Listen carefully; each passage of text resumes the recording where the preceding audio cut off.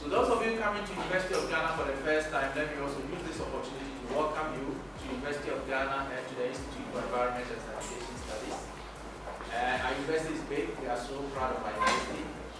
Um, I will urge you to go around and have a look at the beautiful campus and uh, also uh, get to know some of the things we do here. The Institute for Environment and Sanitation Studies in collaboration with the University of Applied Forest Sciences, Rottenburg, Germany, within the framework of an exchange program of the BWS, has coordinated this exchange program, which has focused on the problem areas and solutions for a sustainable and income generating waste management in Ghana.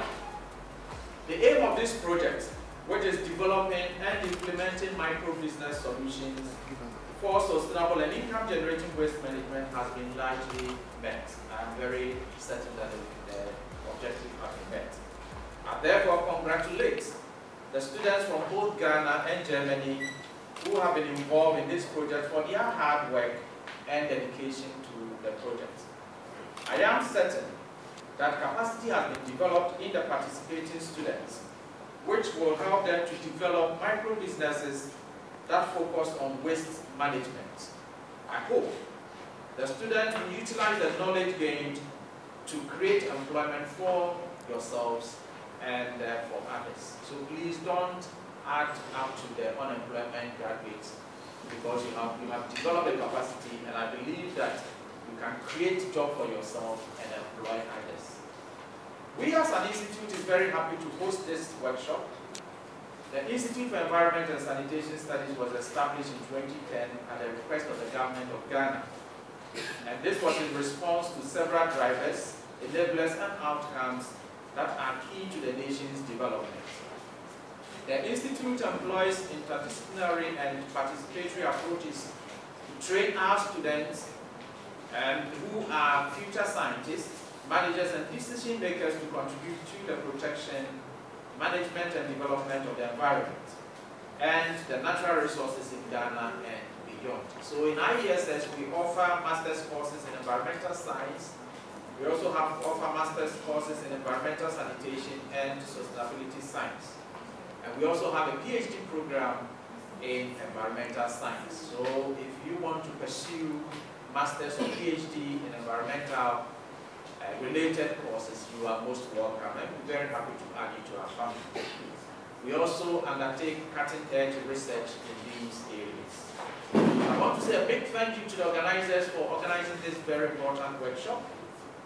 And I'm looking forward to a very successful workshop. Once again. Um, this workshop is actually part,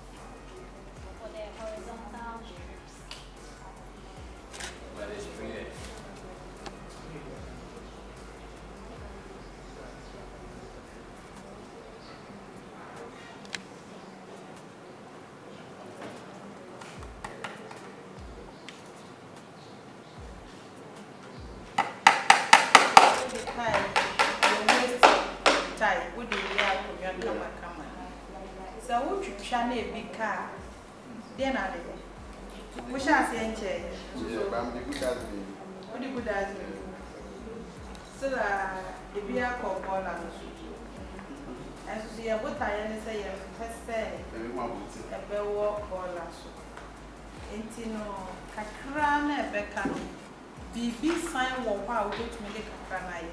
Te sɛ deɛ kita yɛ nnua baa sɛre ɛti sɛ afei na wohyɛ ase. Nti no yɛbɛsrɛ sɛ sɛ ɛbɛyɛ adwuma deɛ a nketenkete na ɛbɛka akyire no ɛno nso so ho bɛba mfasoɔ ama wayi na sɛdeɛ Labor issue, right? It's a good product, the labor issue is how to market. Do we, do we have an idea of the health benefits of sitting in such a chair? But that would also be another way to look at market it. Does it help with your spine? It- It's something we can research on. So if you know the health benefit, then we could use the health benefit, benefit as one million euro to our market. So I have here with me Sarah Dai, who is the um, team lead for Waste Ties to Chairs project. Good afternoon, Sarah. What is this whole project been about? We started the workshop in the morning around 9. We are still having the workshop ongoing. Give us a brief of what this whole program is about. Thank you very much. So it's about urban areas and the sustainable income generation. So we are trying to create income through waste management, sustainable waste management for, upcyclers and consumers in general. And presently we have two projects ongoing, the waste ties to change and then the uh, coconut assisted activated carbon. So in the mornings we had um, presentations and presently we are doing the practical sessions to enlighten the stakeholders who came out. Okay, so you have mentioned that yours specifically, or uh, two projects you're having, one of them not has to chapel, and then the other one is waste um, ties ties to chairs. And I think this that's the one that you are working on particularly. So, what inspired you to bring up this idea, waste ties to chairs, to bring up this initiative? What inspired you? Thank you very much for the question. So you realize that plastic pollution is a challenge. And one of the main challenges, one of the key challenges that uh, waste ties. Now it's said that annually a billion of these ties are wasted. And sometimes they are left on the oceans, others landfill sites. And once it's, it's, it rains, if the rains get into these waste ties, it serves as breeding ground for mosqui- mosquitoes. And also in the ocean, sometimes in nature, when it gets into contact with the the, the acid, the salt in the oceans, some of the elements or the metals in the tiles reach into the oceans and it affects the marine ecosystem and these are the proteins we feed on the fish food. So it's not healthy. And so what we, we thought was that why not create a second life so that it won't be like waste, now it's wasting. So now it's like waste, so you take, you make waste and then you recycle it into upcycle. So that was what birthed this project, the waste ties to chairs. So that now the waste ties are not left at the landfills or the oceans. Because if you go to Labadi Beach right now, I can promise you that you see um, a lot of waste ties. And it's wasted. So it has to be given a second life. And that's how come the chairs, remodeled, will absorb all this from the environment. Okay, so is this the pilot stage where you are just bringing up ideas and making research to develop it, or you have actually started working with these um, goods that you are creating already, working out for consumers' use? Okay, so it's still at the infant stage, but to God be the glory. Um, uh, we've gotten people on board. So we started with um, social media. We created a social media handle, which which is on Instagram and channel channel GH. So we've gotten um, consumers interested, stakeholders who are interested. We actually remodeled chairs with ties for popular restaurant in East Legon, and we've gotten um, other people coming on board to appreciate it. But again, because it's still at the young stage, the challenge is that there's the issue with marketability. So how we can sell this idea for people to patronize it and um, appreciate what's. And the good thing is that it is made in Ghana, so everything from the waste ties to the wood, everything is made in Ghana. So the best that we get consumers to come on board to so that I can create employment for those who in them outside businesses. So finally, what is the future of distance chains? This is the infant stage, and we are in 2015.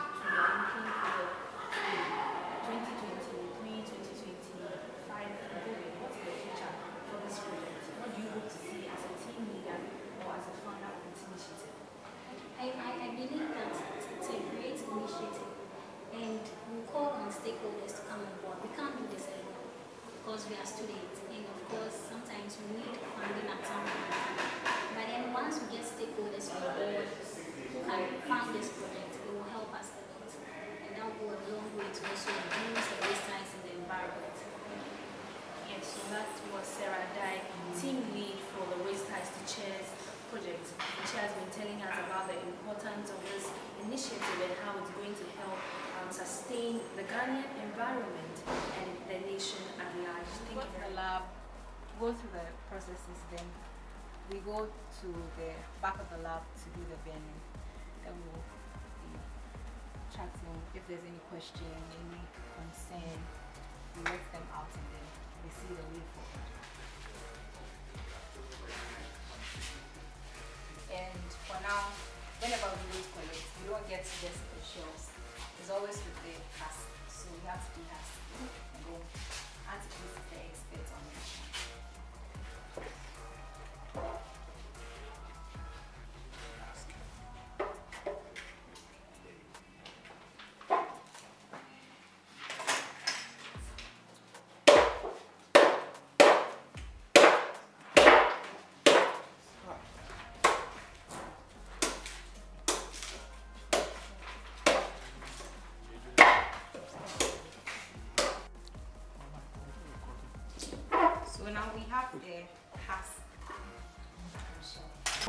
it this way. Mm-hmm. To ensuring that we have very innovative and creative ways of doing this. Because I'm wondering if and that has always been our challenge mm-hmm. if you have ready supply request and you are going to supply mm-hmm. good quantities I'm not sure we can meet This forward. yes Yes, but I think this is when you have to go for the fresh one. Like if you are producing in a large number, you can always go for the fresh ones, which can be easier, easier.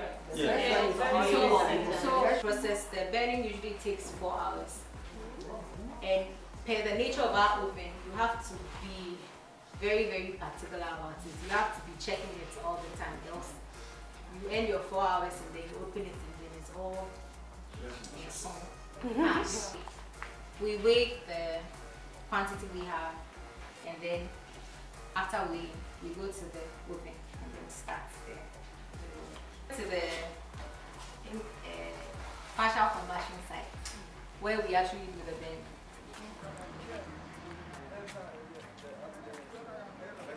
You have to lift it. Yeah.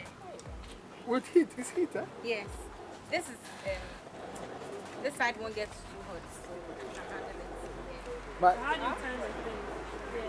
So a friend will help. One holds this side, one holds that side. Then you. Initially, we were ten. We were opening it to see and all that, but as time goes on, you become like an expert. You know when it's feeling light. You know when it's actually working and all that. So like yes. So you yeah shake it, turn it. Um, yeah. So one of my friends was proposing a model where it will feel like you grilling something and it's moving. Yeah, yeah, kind of like that. So that's also another opportunity someone has. Okay, so I'm sitting here today in my project waste shelves to activated carbon, which can be used to treat water. Okay, so us more insight about it. What does it do? How does it benefit our environment? Okay, so Ghana currently faces three problems which we identified. The problem of waste management, the problem of um, lack of access to safe or clean water for domestic purposes, be it drinking or cooking and others. And then the last problem of the rate of unemployment. So we sought to use this waste coconut shells to make activated carbon, which will help solve these three problems. So we are taking the waste coconuts from the streets, from the illegal camping sites, and then two, we are using that to make um, activated carbon, which will help in the treatment water, which will benefit our target um, people, where the people in rural areas, where they you know, have no access, little to no access to safe and clean water for domestic purposes. And lastly, to help with the employment issues where this can serve as a micro business where individuals, groups can take it forward and go ahead with the production what do you what you have in mind for this project in the next Okay, so initiative, what I start seeing is for the stakeholders we interacted with today to be able to take it up. And we are, doors are always open for training so that um, people in the deprived areas where they have little to access safe water have that to also help with employment opportunities. There's going to be, there's, there's a ban on employment come 2023, so if you have the skill, you can go ahead and start this micro business and then you have it. My name is Lydia Bang for Informal Sector and uh, member of Global Alliance and GEMPA with Domestic So today we've had two sessions and let's speak specifically concerning the Chairs to Waste project. Do you think that this project is a sustainable one and will help benefit our environment as a Yes, it is. And the reason why I'm saying that is we, see that in our environment we have a lot of waste ties around. So if the academics can come out with uh, something better which can even help to remove the waste ties from the landfill side and the road side to avoid creating mosquitoes and other things, yes, it would. But we are looking for another way around that. Uh, this thing, is it sustainable? And how it will Is this something that is going to help the environment and at the same time going to help the youth do something about it? Because what the academics or the students have been doing now is like uh, trying to turn our waste, some part of our waste to recycle. So if they are doing that, it means that they also are trying to create job awareness to their youth, okay, and which which is very good idea is to bring out something like that, using the used ties to do chairs and so many. And I hope it won't end there because it's not chair alone those used ties can do. It can do something better than the chair, tables and others. So it's very good Me, Mr. Gordon, who's from DYNS. Mr. Gordon, we are having this project concerning, oh, this project is about waste ties to chairs project. And you are a potential customer to this whole initiative.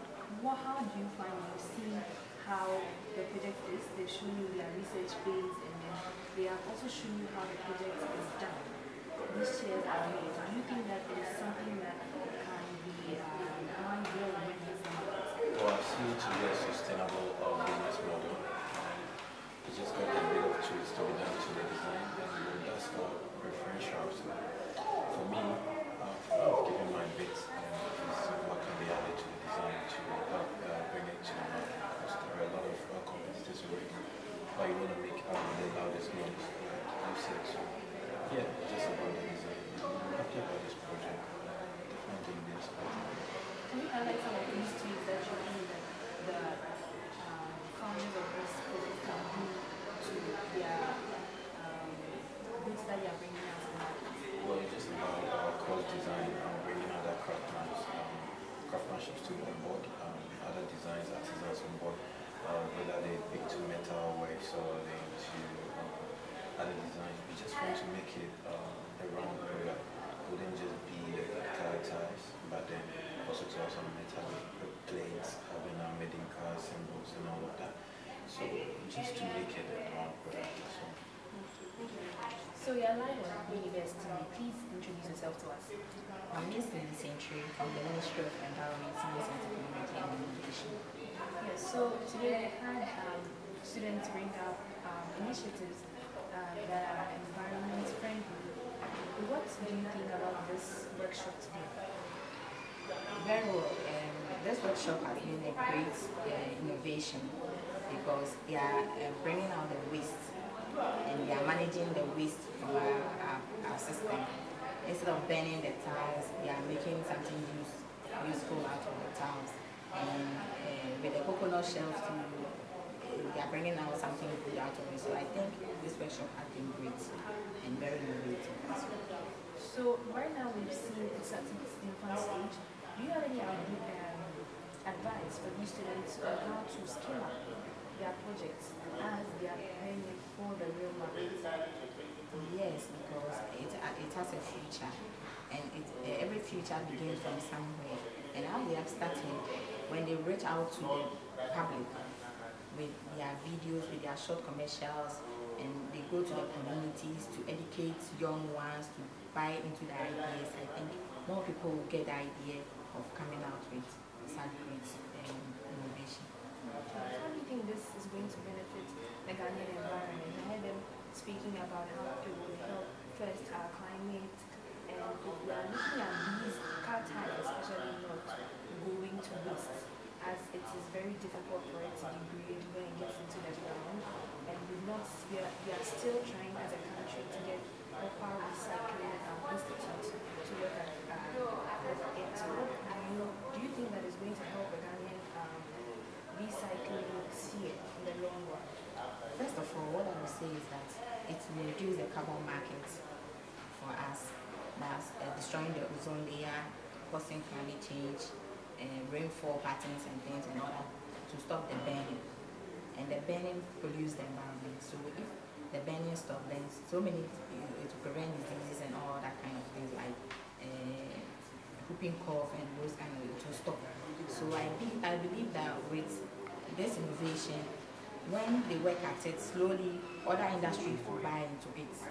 The major industries will buy into the idea and also work with the products so that it will not go waste instead of being lying down at the beaches and all that. They will, they will, they will make something useful out of it.